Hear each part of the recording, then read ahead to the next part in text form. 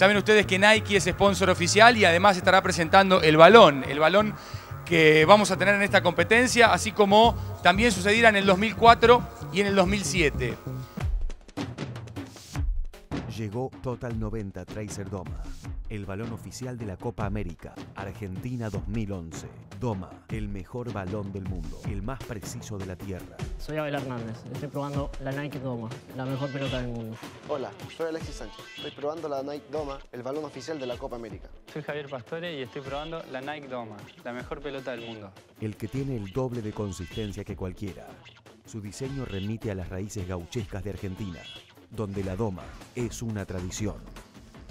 Todos hablaron muy bien de la visibilidad, de la forma de, impacto que tiene la pelota y además de que con menos energía la pelota puede llegar más lejos, tiene mayor alcance. Eh, el Coco cuando estábamos charlando ahí la agarró y dijo, bueno, tiene que picar siete veces. Si no pica siete veces, evidentemente entonces esta pelota no sirve. Picó siete veces. Mirá si ahora la tiro y no pica siete veces. Igual la voy a tirar acá. Yo creo que tiene que picar siete veces, a ver. Sí, sí.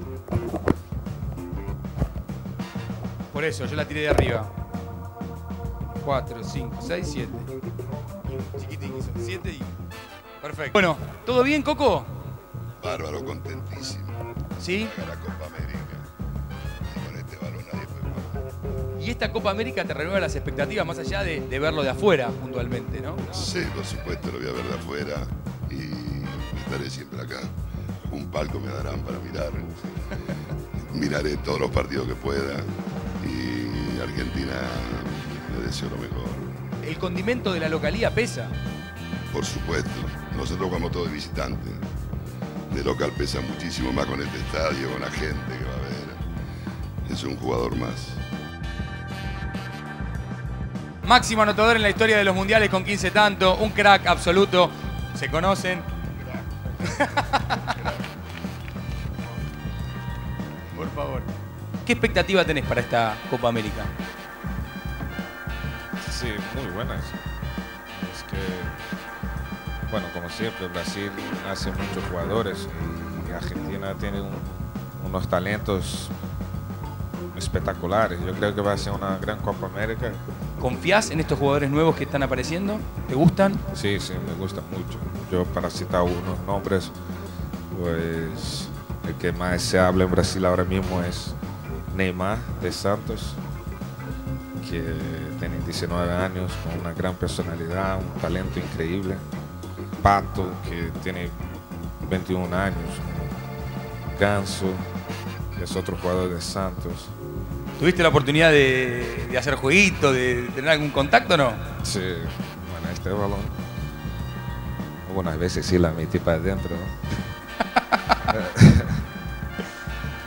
bueno, sí, no, aparte de la, de la gran tecnología que siempre los de Nike hacen, es un balón que a todos los jugadores les gusta, porque es muy fácil manejo y, tiene una gran precisión, así que